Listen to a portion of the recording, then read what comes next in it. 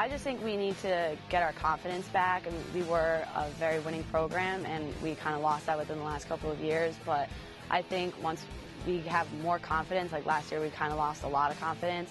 But this year, we feel a lot better and a lot stronger and a lot.